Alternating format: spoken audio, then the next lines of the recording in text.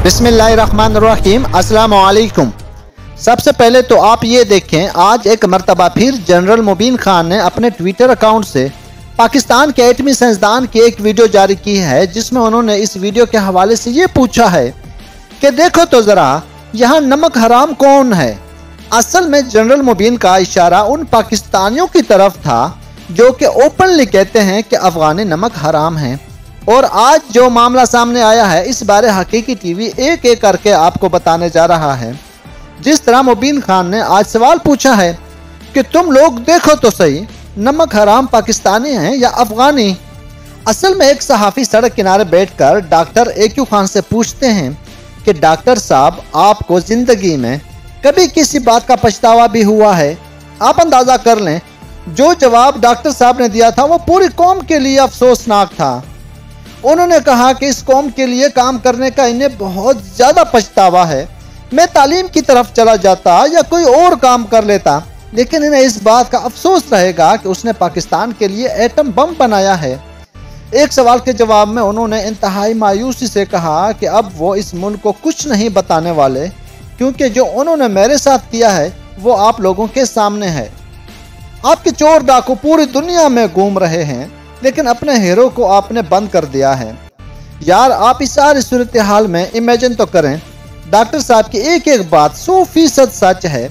अब देखें तो ज़रा, उन्होंने कहा है कि आप ईसान फरामोश हैं। असल में उन्होंने जिस तरह दिल की भड़ास निकाली है, वो तो कुछ भी नहीं है। आप ये देखें उन ही चोरों, डकैतों की वजह से आज आम पाकिस्तानी खुदकशी कर रहे हैं। इवन के जिस तरह लोग हुक्मरानों को बदुआएँ दे रहे हैं आप देखें तो ज़रा, आज सूरत हाल इतनी ख़राब हो चुकी है कि लोग अपने बच्चों को जहर देकर खुदकशी कर रहे हैं। लेकिन जो चीज़ें जनरल मुबीन खान हमें समझाने की कोशिश कर रहा है, कि आप बताएँ तो सही कि नमक हराम कौन है? ठीक है, इस वक्त मोस्टली हर पाकिस्तानी पीट रहा है, वो रो रहे हैं। सेम डॉक्टर साहब की तरह उन चोरों डाकुओं से नफरत का इजहार कर रहे हैं। लेकिन कम अज कम जनरल मोबिन खान साहब, आप अपना मशुरा रखें अपने पास। छोड़े आप इन चीज़ों को, वरना बात नमक हरामी से बहुत आगे तक जा सकती है।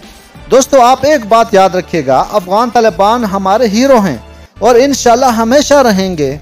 हम अफगान तालिबान के लिए दुआएँ क्यों करते हैं? आप बताएँ तो ज़रा, वो सिर्फ़ इसलिए कि अल्हम्दुलिल्लाह वो ज़बरदस्त मुस्लिम्स हैं, इवन के उन्होंने कुफार को जो जिलत आम शिकस्त दी है, उस पर हम भी फ़ख्र करते हैं।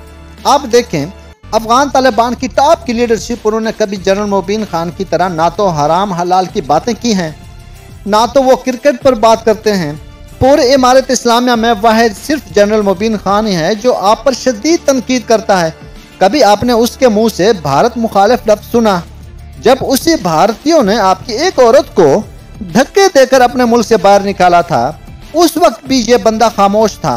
ठीक है जनरल मुबीन खान बातों की हद तक तो सही कह रहे हैं, लेकिन इस तरह की कम अज कम एक बात तो भारत के खिलाफ भी कहे ना। आप इस रिपोर्ट को देखें, ये जनून हिंदू वाज अल्फाज में कह रहा है कि भारत को आगे बढ़कर अफ़गानिस्तान पर कब्जा करना चाहिए।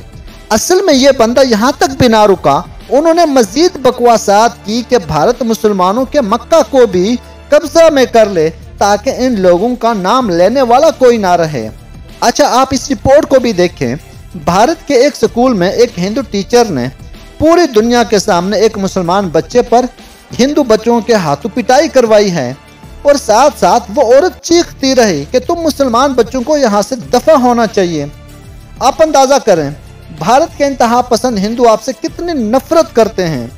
अब होना तो ये चाहिए था कि जो साहब पाक अफगान क्रिकेट मैच पर तो बात कर सकता है। आपको भीख मंगा भी कह सकता है। यार उसे कम अज कम इन भारतीयों पर भी एक छोटा सा बयान तो देना चाहिए था।